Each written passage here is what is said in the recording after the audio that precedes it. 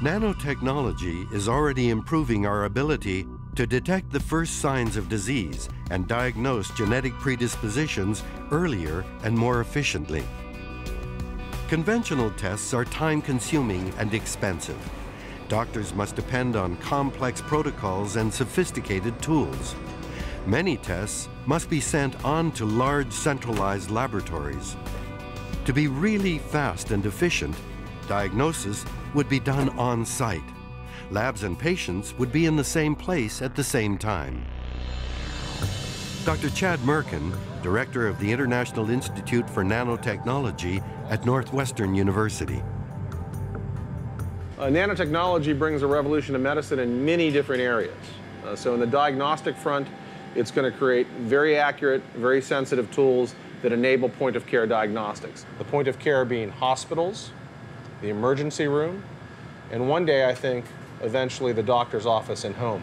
People have talked about this now for a couple of decades. In this case, the nanotech advances are really making it happen.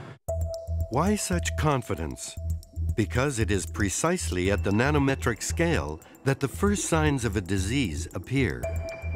A human body contains about 100 trillion living cells. In order to coexist together, the cells exchange messages.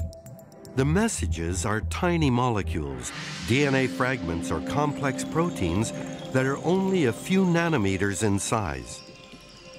The cascades of reactions set off by these molecular messengers are the language of life, the most intimate form of communication. When a cell is sick, it sends out different messages. Biologists call them biomarkers. They are the molecular signatures of disease and the clues, the indicators on which the most sophisticated diagnostic instruments depend. It turns out that there is a unique genetic marker and oftentimes a unique protein marker for almost every disease out there, anything living in fact. And so over the last couple of decades, the world has gotten very good at identifying what these markers are, and now we can begin to create tests for all sorts of different markers that allow us to rapidly assess, determine the state of the disease, and then a course of therapy that follows. This revolution is already underway. The first diagnostic systems based on Chad Mirkin's research have already been installed in some American hospitals. The machine embodies many of the advances that nanoscientists promote. It's simple, fully automated, and uses disposable cartridges. A single sample allows doctors to detect the presence of different diseases, genetic predispositions, or viruses in the blood.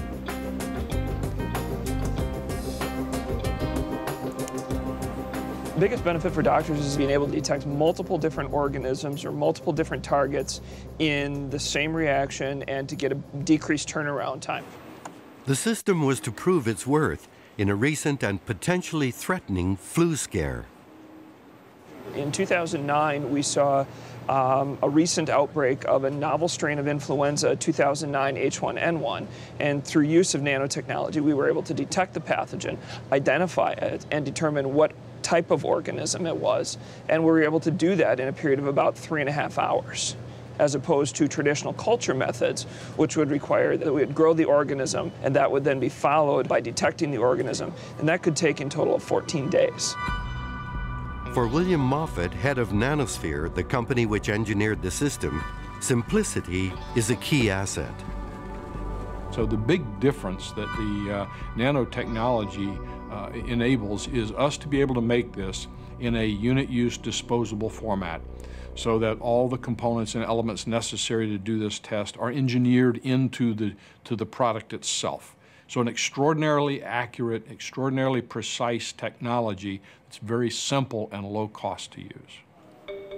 But how does this small device replace the work of a whole laboratory? In order to look for biomarkers of diseases, researchers can rely on a fundamental property of molecular messengers. They bind exclusively to certain other molecules according to a lock and key logic. These bonding molecules, called ligands, are receptors which can be used to identify and capture the target should the disease be present. To detect the disease, the researchers need to see whether binding has occurred at a molecular level.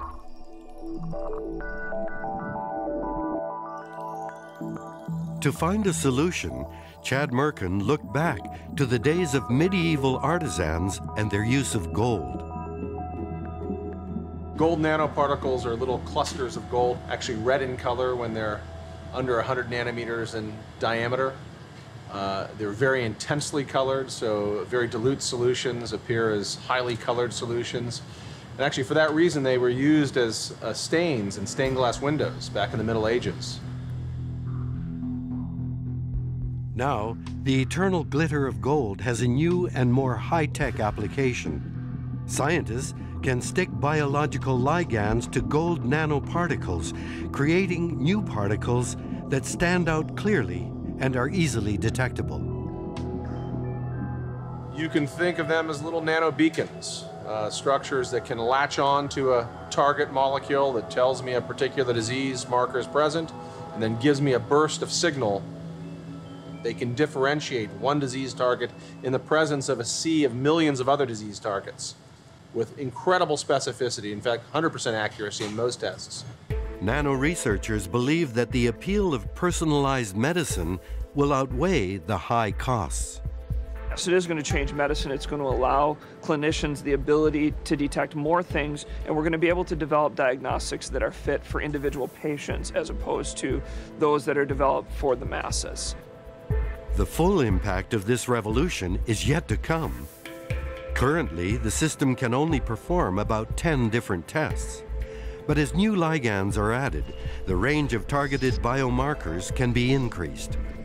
And these types of tools, as the menu grows and the different capabilities uh, are added to the same uh, uh, basic system, uh, the, the wealth of information one can collect is, is just mind-boggling. You're going to see this ability to detect really low quantities of targets to completely transform the field of medicine because you're effectively taking the blinders off. You're increasing the capabilities of the radar.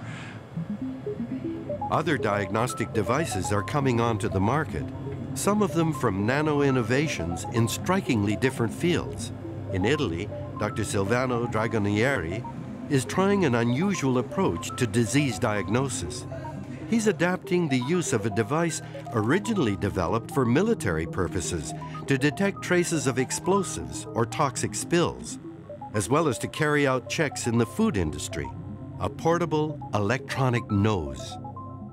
We just took it and uh, because it's easily available uh, and uh, not too expensive in order to check whether it could be applied for medicine. Dragonieri's artificial nose has 32 electronic sensors, but in this case, the sensors detect disease, not explosives. As with a dog's recognition of scent, the electronic nose doesn't so much analyze the scent as recognize its pattern and imprint.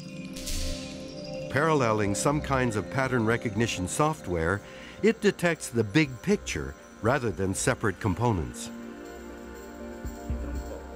Silvano Dragonieri thinks the nose could detect the first signs of a range of diseases in the breath of a patient. Falls in the control group. It's been uh, found out in the last years that uh, uh, human exhaled breath contains more than 3,000 uh, volatile organic compounds. When you're sick, there's a change in the body's metabolism, a change in chemistry. Subjects, for example, with lung cancer uh, show different uh, volatile organic compounds compared to subjects without it. According to Dragonieri, the nose could be programmed to distinguish between a pathological imprint and a healthy one. Nowadays, the CT scan is the only diagnostic tool used for early detection of lung cancer, but it's expensive and cumbersome. Obtaining a reliable and fast diagnosis simply by blowing into a plastic bag would be both faster and cheaper.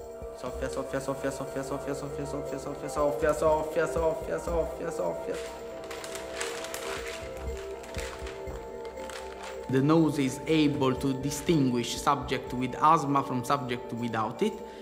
subject with lung cancer, from subject without it, and from subject with chronic bronchitis. Research is being carried out in laboratories around the world, and some scientists suggest that this type of diagnostic device could be in use within the next decade. Should the promise be fulfilled, these advances in early detection will make diagnosis more immediate and less intrusive.